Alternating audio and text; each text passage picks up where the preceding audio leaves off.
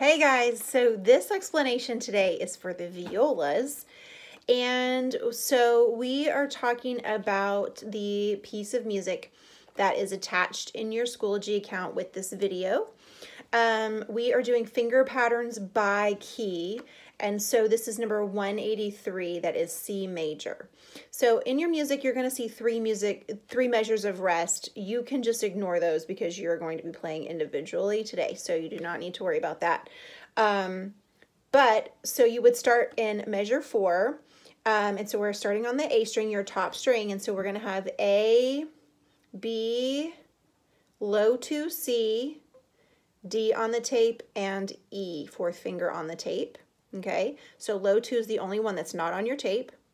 Then you're gonna go to the D string finger pattern, and it's just the same as the A one. So you're gonna go open D, first finger E, low two F, G on the tape, and A on the tape, okay? Then you're gonna go to your G, and you're gonna have a high two finger pattern. So you're gonna go open G, first finger is A, Two on the tape is B. Three is C. Four is D.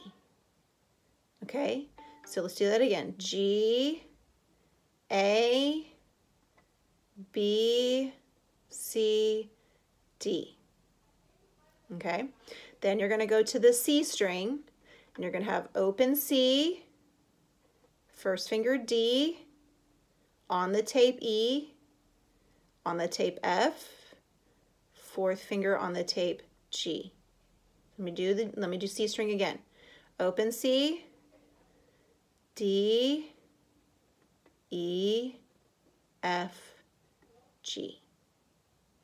All right, so hopefully these finger patterns will help you as these are the finger patterns that are in the auditions. I'm going to play them in the next video so you can play along with me. Okay.